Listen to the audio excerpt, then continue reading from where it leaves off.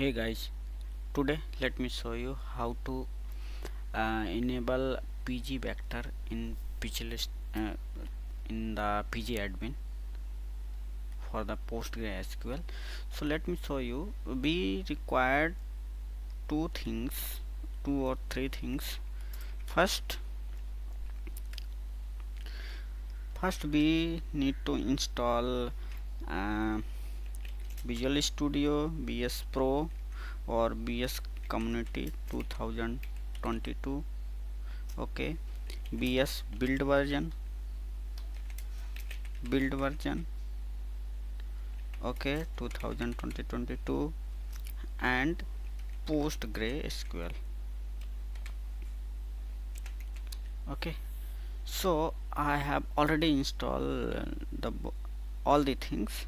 Let me show you if I go to the PS Visual Studio installer let me show you quickly. So it is taking time to open.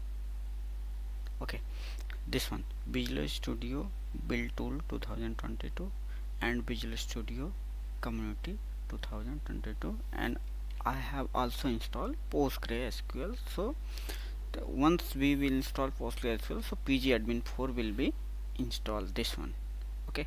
So the pg vector will be show in the pgadmin okay? So how to install? Let me show you quickly okay? So install pg vector. You need to go github repository here go here.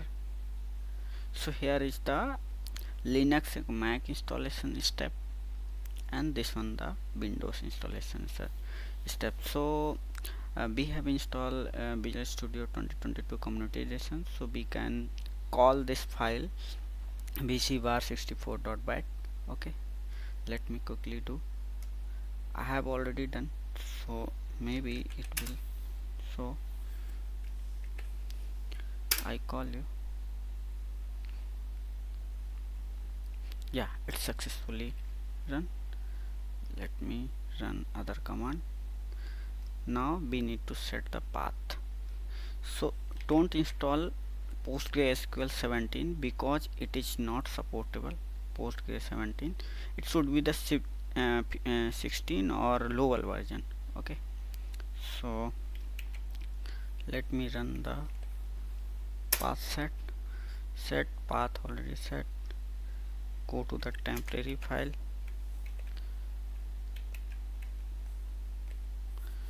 Okay. Temp file. Clone the repository.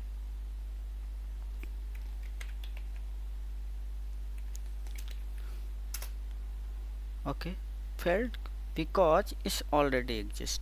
I have this uh, clone repository pg vector already there. So don't worry in your case it will gone now go to the vector path. Okay. Go to the vector path. Install the nmake okay. All right it's done successfully. Now install finally nmake this one the last step okay. So it's done. It is showing already exist. Okay. Let me show you in the pg admin. Pg admin.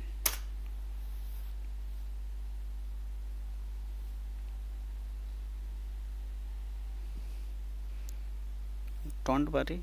Sometime the pg vector uh, extension added just you need to log in the server. Okay let's log in. Alright so let me show you.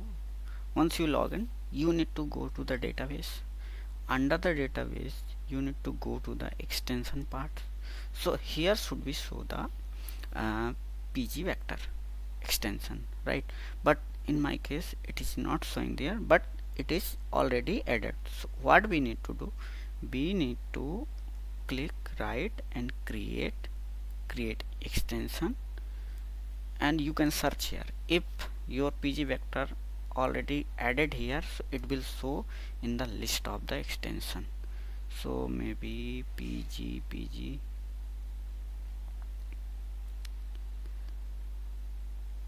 where is the pg vector maybe the name should be the vector okay?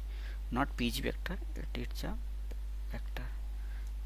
Enable it and save it okay? So it is come here.